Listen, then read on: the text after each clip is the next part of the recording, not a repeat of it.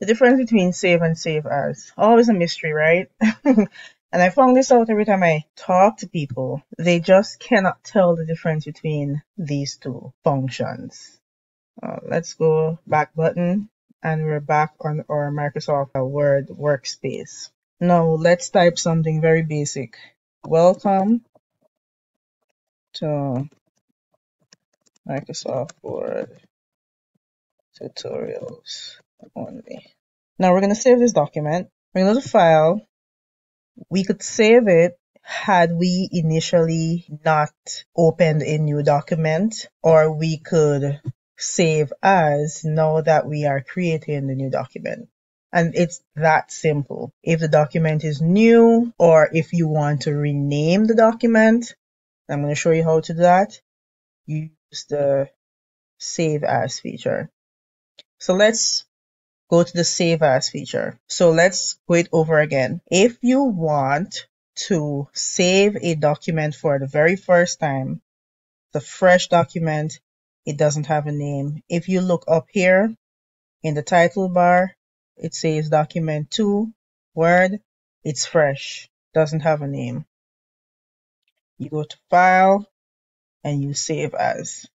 Now, when you click Save As, this allows you to save it wherever, whether you want to save it on your OneDrive, your PC, you add a place, which would be a OneDrive. I'll link videos for these things, um, so you could check those out.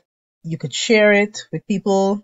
You could browse for where exactly on your PC or if you have like an external drive added.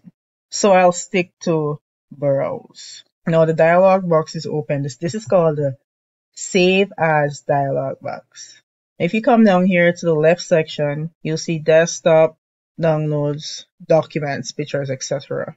Usually the My Document folder or the Documents folder is the most popular place to like put your stuff. Well, that was back in the day. Now people are doing their things in the cloud. Let's say I just want to save it in the My Documents. Now this is the Documents folder you click there and you click save. And it has been saved. Now, one thing I forgot to mention, let's go back here. Go back to file. This is new. I'm just noticing this in this video that when you click save as, it actually comes up as save a copy if you go back to save it as again. It wasn't like that years ago, but evidently this is an update. Let me just start a new one because there's something I want to show you here. Okay, so we have a new document here. So go to File, Save As, Browse. Always remember to give your file name a name in the file name section and save as type. Now this is a bit advanced. I'm not, this is not that type of video. So let's just stick to file name. You have to select the name for your file. Now let's name the file this or my first file and you click save. But I'm not going to save it because I just did that prior to do it, doing this. But let's go back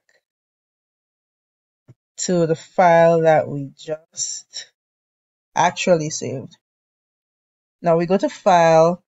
Now save a copy. Now this makes sense because back uh, in the day or years ago, it used to be save as again.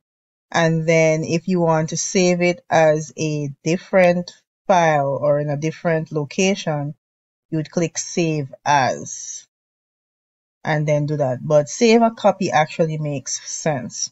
So let's say we want to either change the location of this or save a copy because even if you change the location, you're still going to make a copy of it. Or if you want to rename the file, right, as a different name or uh, as a copy of it, you come to File, Save a Copy. Let's say this time you want to do it in your OneDrive, right? And if you're going to do it in your OneDrive, you come up here and you change the name. Or you could say P of Welcome to Microsoft Word Tutorials Only and you save. And now it was saved to your OneDrive. Or if you don't want it in your OneDrive, you come back here, save a copy, and you can put it wherever you want to put it. So if it goes to browse, a place, this PC, wherever. I'm almost at 1000 subscribers. I think I just need like 30 more subscribers to get to 1000 to get monetized. And it would mean the world to me if you do that. So I'll see you in the next video. Bye.